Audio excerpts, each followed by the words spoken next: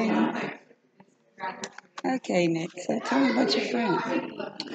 Well, like I said, him and I have been friends for over a decade. We've been best friends. We used to work together at my job, and every Christmas we would save up the tips we would get from our clients, our the, the residents who live there, and we would go out and have a big lunch. It was our right before Christmas break. We'd go out, like spend a whole lot of like time and food, like get a whole bunch of food, and it was awesome. And we did this for four years straight. He left the company. We still did it, even when he was at his old company. It was a tradition for us.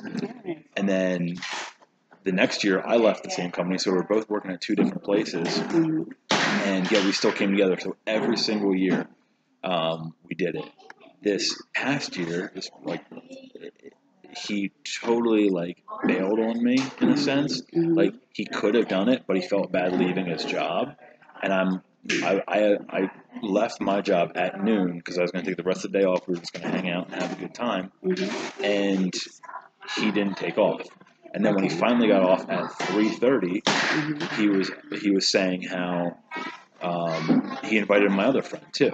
It's just like it's only it's, it's always been us. So I'm like Mhm. I'm, I'm just really frustrated with him right now. So, um, let me back up a little bit. You said that he bailed on you. Yeah. So, what do you mean by? Well, maybe it's not necessarily a bail. Mhm. It's he promised something to me that we were going to meet at noon. We were going to go out to lunch. Mhm. and he didn't come. He didn't leave his job. So I'm sitting around waiting for three hours for him. So you're was it a did y'all have an agreement? Oh yeah, yo, we agreed. We planned it months, well, years basically, mm-hmm. because it's a holiday tradition for us. So while you were sitting there waiting, tell me how you were feeling. Oh, I was mad. I was real mad. I was so furious. I was saying words that did not become me. It was, it was, it was. I was very frustrated with him. Very frustrated. So how was that going to affect your relationship with him? Oh, I yelled at him when I saw him. Well, I ignored him at first. Oh, okay. And then when I saw him, I was kind of passive aggressive, and then I just got flat out aggressive with him. Oh, so you played the cold shoulder for a minute. huh? Oh yeah, in the beginning, for sure. So when you were when you were responding back to him like that, what were you feeling then? Oh, I was feeling mad. Even when you were giving him the cold shoulder. Oh yeah, I was? I was really mad. So So did he respond to you? yeah, he he felt slighted. I know he felt slighted in it, and he didn't think it was that big of a deal. To me, it was a big deal, so that made me even more hurt. And that's when I got more aggressive with him in it and called him out on it. So So when you say hurt, what do you mean by hurt? Because you said you were angry, yeah, you know. I, I felt hurt in, in the sense that I thought I was more of a value to him, Mhm. a more of a priority, because this is something, this is an event that I look forward to all year.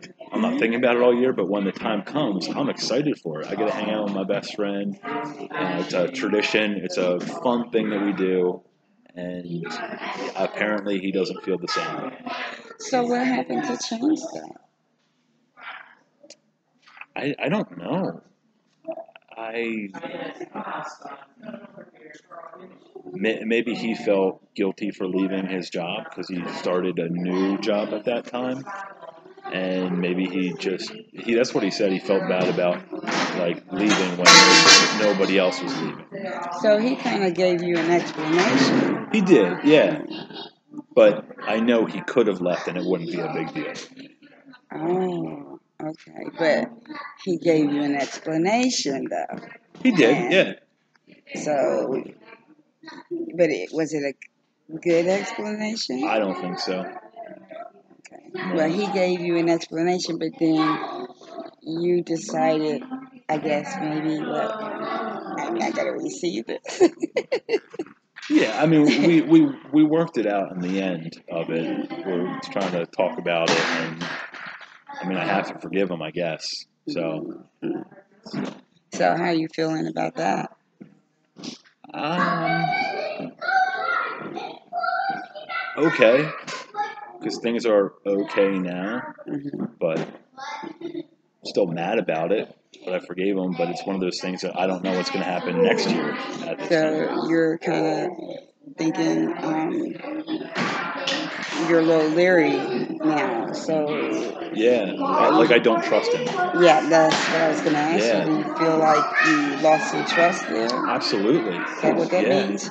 So, and you shared that with him as well? Yeah, it's actually something that I've expressed multiple times to him because he's he's done it before. Oh, so this happened before, Yeah, not in this situation, but Okay, this there's is a different- times. Yeah. but kind of similar Oh, kind yeah. of thing that went down. Yep. And so you're just, I'm hearing you say that he should have known better, pretty much. Oh yeah, he should have. because like you know you're saying that he's done something like this before Yeah, he should have known better he should have done better. because i didn't want to put Yeah. words in your mouth there but that's what i sound like i was starting to hear you Yeah, because we we've been in situations like this before. Like um, when he used to live half an hour from me, Mhm. and I wasn't married at the time, and I basically just did whatever I want whenever I wanted to. Um, I would go to his house three, four, five days a week and hang out with him, and we would have fun, and, and it was awesome. Well, there's been a couple times where he invited me over. I hop in my car, I drive half an hour to his house, and he's not there. I'm like, where is he? And then I talk to his wife, and oh, he just went golfing with so and so. What are you talking about? Oh, he's playing softball with so and so. Mm. What do you mean? He literally invited me, and he forgot about me. He Oh forgot that he invited me over and went out to go do something more fun, I guess. okay so what i'm hearing you say is that you guys have a history of this kind of um, relationship banter activity that's happening between you two where um, he, you're supposed to get together and you're thinking we're getting together and he knows I know and we got this plan and then boom he doesn't show up or Yeah, he so it's like a, about a you. repeated offense, and I don't know what to do about it. Like I'm just so frustrated at my friend. Like I forgive him every time, mm-hmm. but it's a pattern that like I don't know how to address with him. Well, I want to ask you, do you feel offended Oh yeah, by that behavior? yeah.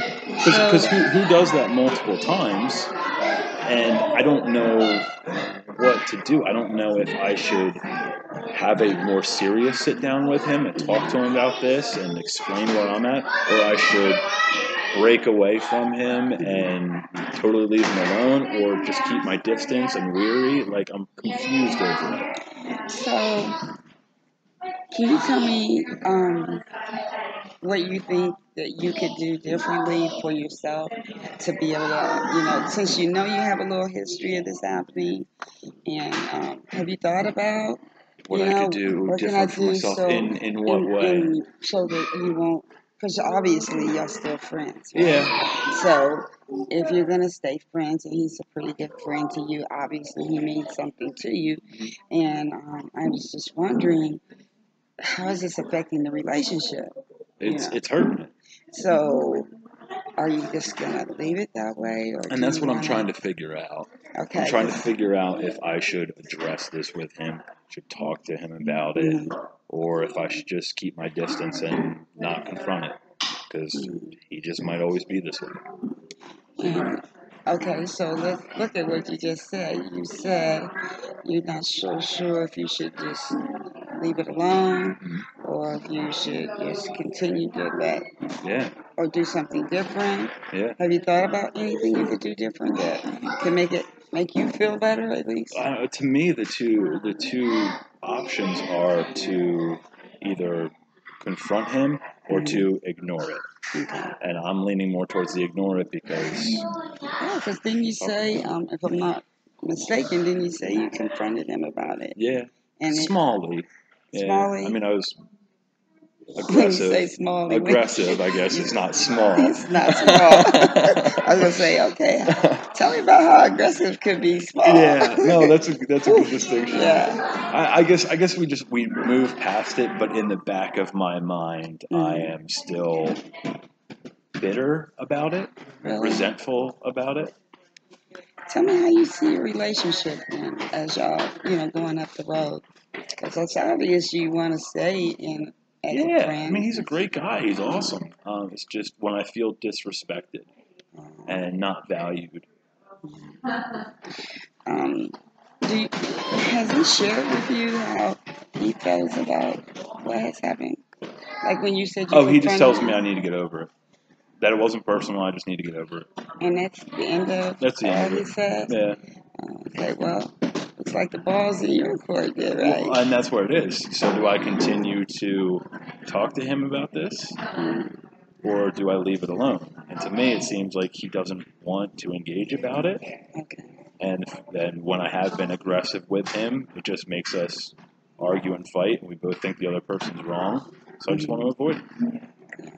And I, I understand. I can I can see how it's really important to you, you know, for friendships. Were there any other friendships or incidents that may have went like that? Because I mean, you seem to be very sensitive about it. It's important to you, and and that's great. You know that you care about your friendship. So, but he's treating it like Yeah. you know. No, I haven't really had any other relationships like this. I don't really typically hang out with people who do that type of stuff. Yeah. Like I choose my friends pretty carefully. So when you say pretty carefully, what does that look like? What kind of friend is that? Uh, loyalty, um, humor, um, worldview, beliefs, um, kind-heartedness, compassion, um, confidence. Probably having a good time, like you said. Oh yeah! Oh yeah! That's great.